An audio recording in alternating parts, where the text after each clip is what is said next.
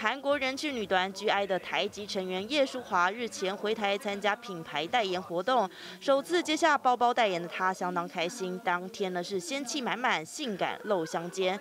之后活动结束后呢是意外现身柯震东的庆生趴，引来对岸粉丝不满，认为他不够谨慎，竟然会与曾经入狱的柯震东在一起，甚至上升他将他化为台独艺人。叶淑华脱粉一度登上了微博热搜的冠军。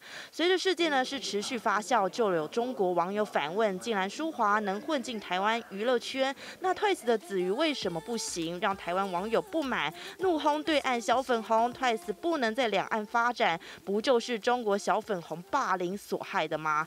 而挑起小粉红敏感神机的，还有韩国综艺节目上询问有谁来自中国、来自台湾的许念慈呢是没有举手，这也让小粉红怒了，说以后都要避雷。小粉红的玻璃心。再度碎满地。